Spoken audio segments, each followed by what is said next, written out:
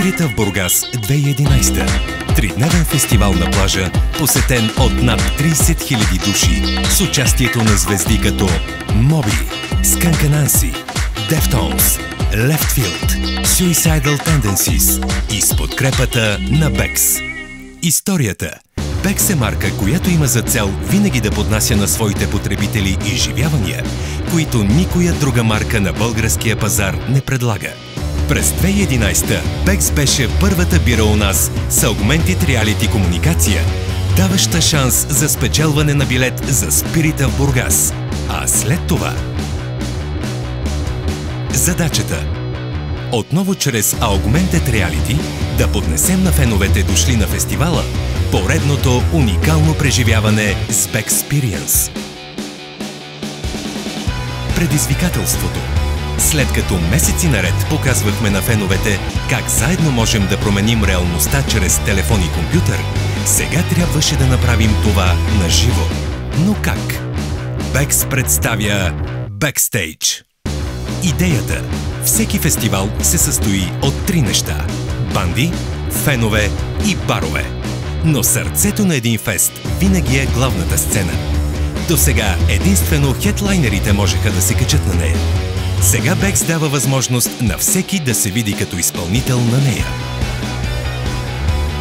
Реализацията В рамките на фестивалната зона построихме истинска сцена, изцяло оборудвана с звук, осветление, музикални инструменти, караоке система и огромен прожекционен екран пред нея.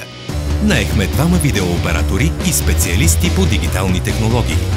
След това дадохме възможност на всеки да се качи на нея и да изпее някой от любимите си хитове и докато хората се забавляваха на бекстейдж, видеосигналът от нея се смесваше с запис от главната сцена. И така, всеки сякаш беше хедлайнер на фестивала. Резултатите За три фестивални дни заснехме 109 изпълнения, които качихме на страницата на Бекс във Facebook, както и в специално създаден YouTube канал. Събрахме над 10 000 гледания и отново поднесохме на феновете незабравимо преживяване с Бекс. Освен това, открихме истински таланти като Зорница, Just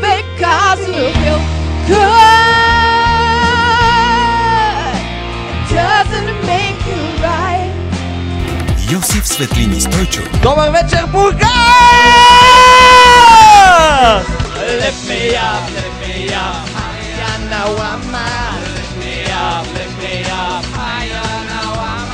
и много, много други. Благодарим за вниманието!